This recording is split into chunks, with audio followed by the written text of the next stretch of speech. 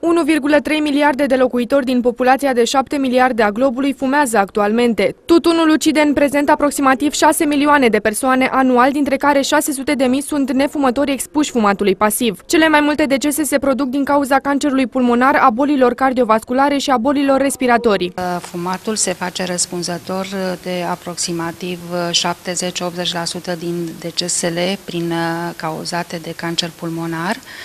Uh, de asemenea, afecțiunile respiratorii în general, și anume bronșita cronică, uh, bronhopneumopatia cronică obstructivă, uh, enfizemul pulmonar, asmul bronșic, toate acestea pot fi produse de fumat atât fumatul activ cât și fumatul pasiv, care este la fel de, de nociv ca și uh, cei care fumează ca atare. Fumatul scurtează speranța de viață. Fumătorii au în medie un risc de 50% de a deceda din cauza tutunului. Dacă însă renunțați la fumat, riscurile asupra sănătății se reduc drastic. Dacă au trecut 10 ani de când uh, s-a renunțat la fumat, riscul de cancer la plămâni scade cu 30 până la 50%.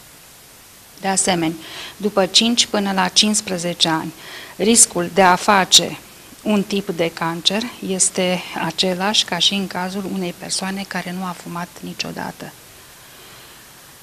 Deci niciodată nu este prea târziu să renunțăm la fumat, pentru că se vor simți permanent uh, îmbunătățirea stării de sănătate și riscul de a te îmbolnăvi de o boală destul de gravă care duce la deces scade foarte mult. Dacă în secolul 20 numărul deceselor cauzate de tutun a fost 100 de milioane, în absența unor măsuri urgente, tutunul ar putea ucide un miliard de oameni în cursul acestui secol. Așadar, spuneți nu tutunului și alegeți sănătatea.